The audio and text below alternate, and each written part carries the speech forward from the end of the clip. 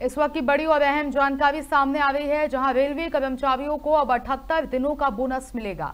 ये बड़ी जानकारी आपको बता रहे हैं, जहाँ कैबिनेट बैठक में ये अहम फैसले लिए गए हैं। करीब ग्यारह लाख बहत्तर हज़ार दो सौ चालीस रेल कर्मियों को इससे फ़ायदा होगा। सरकार ने PM R K V Y और कृषोन्नति योजना को भी इस बैठक में मंजूरी दी है। ये बड़ी जानकारी आपको बता रहे हैं, योजना के लिए एक लाख एक हज़ार तीन सौ इक्कीस करोड़ रुपए का प्रावधान किया गया है। रेलवे कर्मचारियों को अब अठहत्तर दिन का बोनस मिलेगा। ये बड़ी जानकारी इस वक्त की सामने आ रही है। तीन अक्टूबर को केंद्रीय कैबिनेट की बैठक में ये बड़ा फैसला लिया गया है। ये बड़ी जानकारी इस वक्त की आपको बता रहे हैं। दो करोड़ के प्रोडक्टिविटी लिंक्ड बोनस को मंजूरी दी गई है।